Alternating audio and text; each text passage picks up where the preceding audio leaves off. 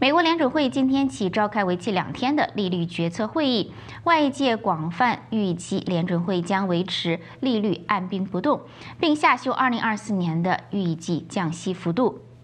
联准会发表声明，联邦公开市场委员会于当地时间上午十点半召开了利率会议，预计当地时间十二日下午公布利率决议。联准会议将基准利率调升至介于百分之五点二五和五点五之间，二三年的历史高档，并暗示在更多证据显示通膨持续降至百分之二长期目标前，不会开始实施宽松的货币政策。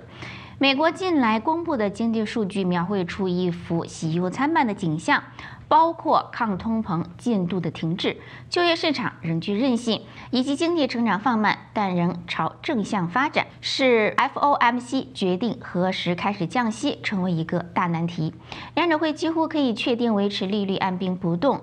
多数分析家预估，将会有更多联准会官员下修今年预计降息次数的预期，使降息一码的中位数三次降至两次或者更少。